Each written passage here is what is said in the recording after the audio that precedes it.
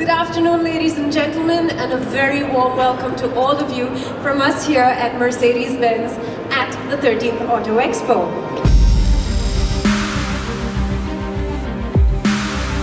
Today, it's my pleasure to present to you the first open-top luxury four-seater from Mercedes-Benz since 1971 and our most exclusive top-of-the-line convertible ever, the S500 Cabriolet.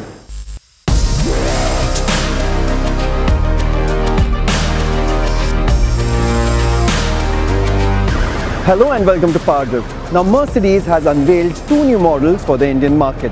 The first one is the S500 Cabriolet.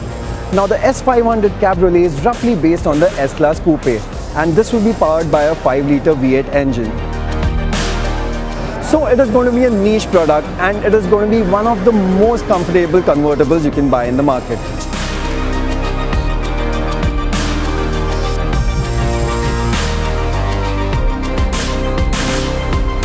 But the main model for Mercedes is going to be the GLC.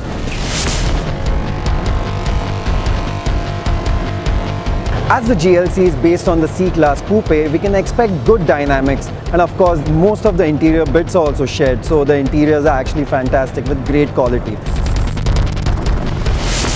So the GLC will be powered by a 2-litre 245 horsepower petrol engine and also we expect it to come with a 2.1 litre diesel.